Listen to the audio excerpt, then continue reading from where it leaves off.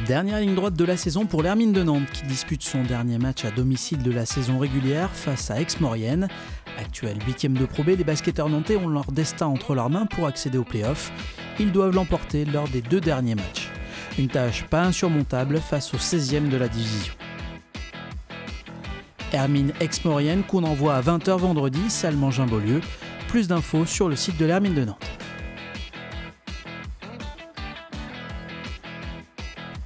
Du handball au programme de ce week-end et un rendez-vous important pour le Saint-Nazaire Handball qui dispute sa dernière rencontre de la saison à domicile face à Cesson. Écartés de la course à la montée en National 1, les coéquipiers de Mathieu de la Bretèche voudront tout de même obtenir la seconde place au classement. Saint-Nazaire-Cesson, coup d'envoi à 20h45 samedi, salle Henri Fogel.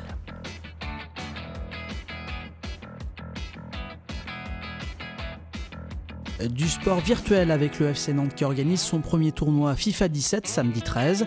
Un tournoi pour la bonne cause puisque le montant de l'inscription sera remis à l'association Omavi. L'épreuve limitée à 32 joueurs est déjà complète mais promet d'être spectaculaire même pour les spectateurs. Plus d'infos sur le site du FC Nantes. Le lendemain, place au football réel pour la dernière rencontre à domicile du FC Nantes cette saison.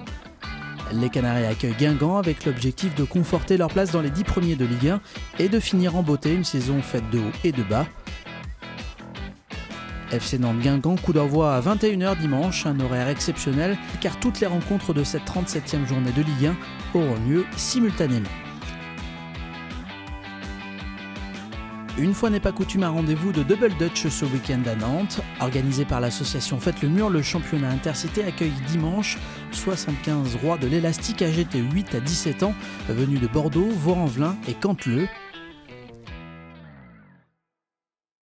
Début de la compétition à 10h au gymnase des Dervalières. Plus d'infos sur la page Facebook de l'association Faites le Mur Nantes.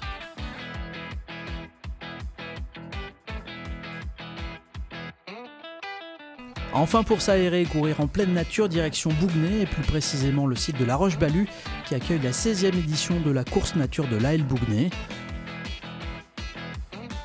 Au programme deux courses de 10 et 20 km ainsi qu'une épreuve de marche nordique de 12 km chronométrée.